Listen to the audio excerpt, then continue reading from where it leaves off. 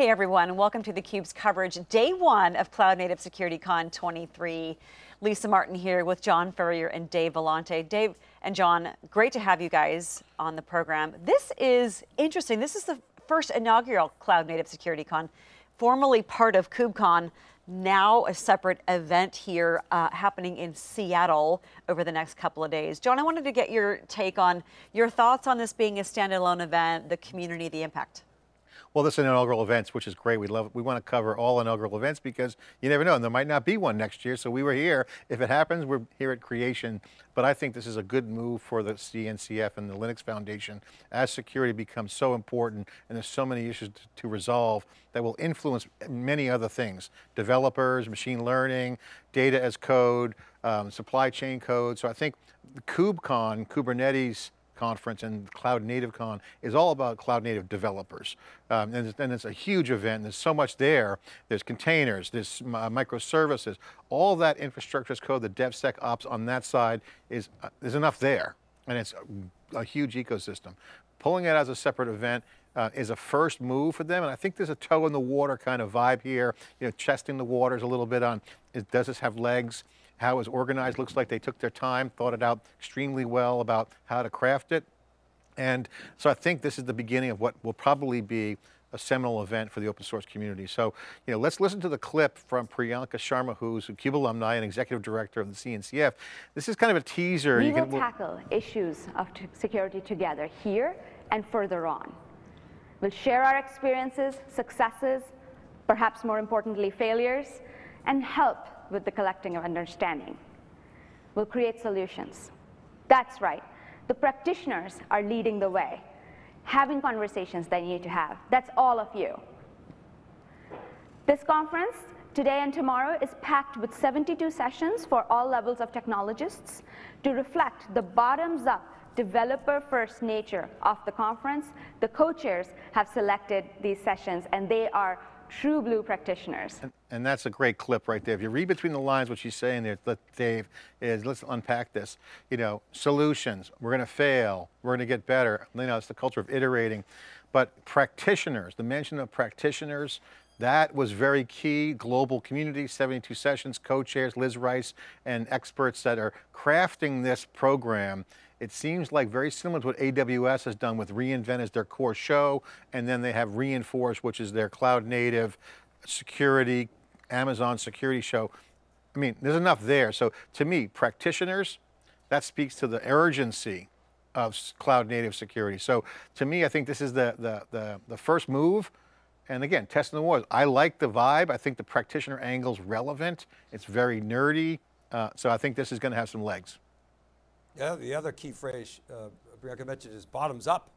And you know, John, in our, in our predictions breaking analysis, I asked you to make a prediction about events, and I think you've nailed it. You said, look, we're going to have many more events, but they're going to be smaller.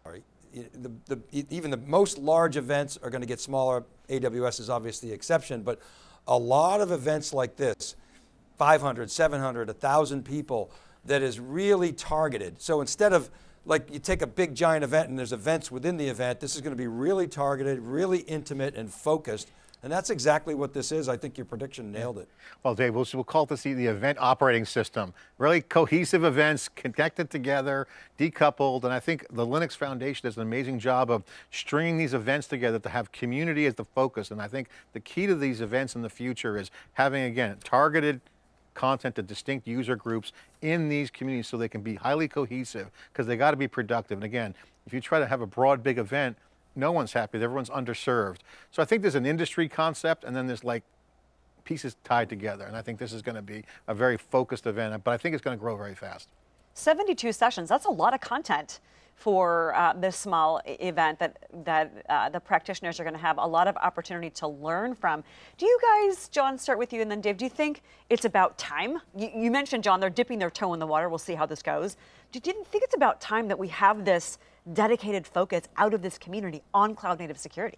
Well, I think it's definitely time, and I'll tell you, there's many reasons why. On the business, on the front lines of business, there's a business model for security hackers and breaches. The economics are in favor of the hackers. That's a real reality from ransomware to any kind of breach attacks. There's corporate governance issues, that's structural challenges for companies. These are real issues operationally for companies in the enterprise.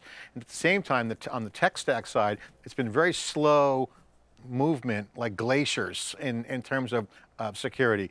Um, things like DNS, um, Linux kernel, there are a lot of things in the weeds, in the details of, of, the, of the bowels of the, the tech world protocol levels that just need to be re refactored. And I think you're seeing a lot of that here. It was mentioned uh, from Brian from the Linux Foundation, mentioned Dan Kaminsky, who recently passed away, who found that vulnerability in Bind, which is a DNS construct. That was a critical linchpin. They're going to fix these things. And Liz Rice is talking about uh, the Linux kernel with the extended Berkeley packet filtering thing. And so like, this is where they're going. This is like, this is stuff that needs to be uh, paid attention to because if they don't do it, the train of automation and machine learning is going to run wild with all kinds of automation that the infrastructure just won't be set up for. So I think there's going to be root level changes, and I think ultimately a new security stack will probably be very driven by data uh, will be emerging. So to me, I think this is definitely worth being targeted, and I think you're seeing Amazon doing the same thing. I think this is a, this is a playbook out of AWS's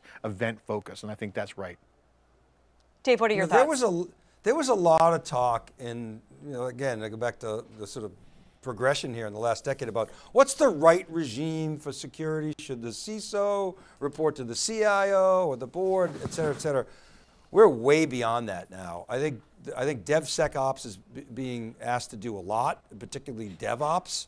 Uh, so we hear a lot about shift left. We're hearing about the, uh, protecting the runtime and the ops getting much more involved and, and, and helping them do their jobs because you know, the cloud itself has brought a lot to the table. It's like the first line of defense, but then you've really got a lot to worry about from a software defined perspective, and it's a complicated situation. Yes, there's less hardware. Yes, we can rely on the cloud, but culturally, you've got a lot more people that have to work together, have to share data, and you know, you, you want to remove the blockers, to use kind of an Amazon term, and the way you do that is you really, really, if we talked about it, you know, many times yeah. on theCUBE, do over. You got to really rethink the way in which you approach yeah. security and, and it starts with culture and, and team.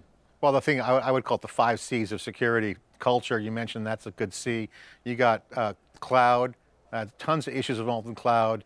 You got access issues, identity. You got clusters. You got Kubernetes clusters, and then you got containers, the, the, the, fourth C, and then finally is the code itself, supply chain. So all areas of cloud native. You know, if you take out the culture, it's you know cloud, cluster, um, container and code all have levels of security risks and new things in there that need to be addressed. So, you know, there's plenty of work to get done for sure. And again, this is developer first, bottoms up, but that's where the change comes in, Dave, from a security standpoint. You always point this out, bottoms up and then middle out for, for change. But absolutely the, the imperative is today the business impact is real and it's urgent and you know you, you got to pedal as fast as you can here. So I think this is going to have legs. We'll see how it goes.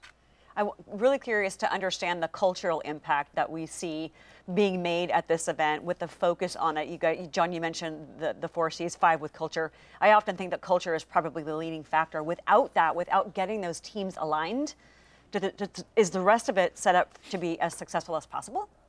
I think that's a question. That's well, I mean, that, to me, to me, Dave, Dave asked Pat Gelsinger in 2014, can security be a do-over at VMworld when he was the CEO of VMworld, VMware? He said, yes, it has to be. And I think you're seeing that now, and, and Nick, um, Nick from the co-founder of Palo Alto Networks was quoted on theCUBE by saying, you know, zero trust is some structure to give to security, but cloud allows for uh, the ability to do it over and get some, some scale going on security. So I think the best people are going to come together in this security world and they're going to work on this. So, so you're going to start to see more focus around these security events and, and initiatives.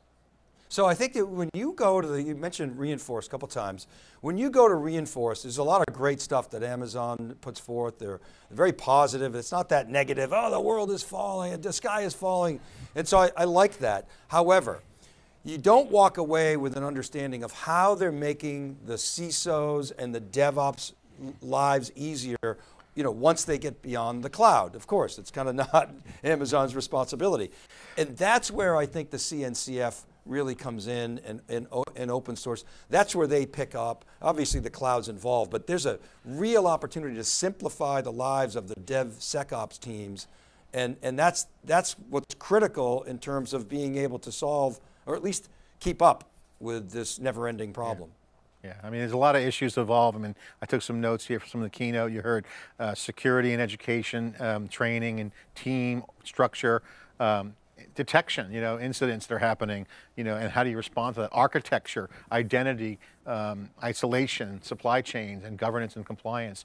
These are all real things. I mean, this is not like, you know, hand waving issues. They got their mainstream and they're, they're urgent. The, literally, the houses are on fire here, so uh, at the enterprise. So, you know, this is going to be very, very important. That's a great point. Some of the other things Priyanka mentioned, you know, ex, expo, exposed edges and nodes. So, you know, we've got, just just when you think we we're starting to solve the problem, you got, you know, IoT. Uh, Security is not a one and done task. We've been talking about culture. No person is an island. It's a $188 billion business. Cloud native is growing at 27% a year, which just underscores the challenges. And bottom line, practitioners are, are leading the way. Last question for you guys. What are you hoping those practitioners get out of this event, this inaugural event? John? Well, first of all, I think this inaugural event is going to be for them, but also we at theCUBE are going to be doing a lot more security events. RSA is coming up, we're going to be at re:Inforce, we're also going to be covering this event, we've got Black Hat, a variety of other events, we'll probably have our own security events really focused on some key areas. So I think the, the thing that people are going to walk away from this event is that paying attention to these security events are going to be more than just an industry thing. I think you're going to start to see group uh, gatherings or group convening virtually and physically around core issues. And I think you start to see a community accelerate around cloud native and open source specifically to help teams get faster and, and better at what they do. So I think the big walkaway for, for, for the customers and the practitioners here is that there's a call to arms happening and this is, again, another signal that it's worth breaking out from the core event um, but being tied to it, I think that's a good call. I think it's well good architecture from a CNCF standpoint and, and a worthy effort. So I give it a thumbs up. We still don't know what it's going to look like. We'll see what day two looks like, but it seems to be experts, practitioners, you know, deep tech, enabling technologies. These are things that tend to be good things to hear when you're at an event. I'll the business imperative is, is obvious.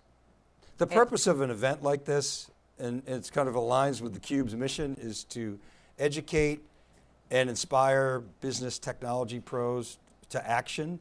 You know, we do it in the Cube with free content. Obviously, this event is a, a for-pay event, but but they they are delivering some real value to the community that they can take back to their organizations to make change, and that's what it's all about. Yep, that is what it's all about. I'm looking forward to seeing over as the months unfold the impact that this event has on the community and the impact the community has on this event going forward and really the adoption of cloud native security. Guys, great to have you doing this keynote analysis. Looking forward to hearing the conversations that we have on theCUBE today. Thanks so much for joining. And for my guests, for my guests, for my co-host, John Furrier and Dave Vellante, I'm Lisa Martin. You're watching theCUBE's day one coverage of Cloud Native SecurityCon 23. Stick around, we got great content on theCUBE coming up.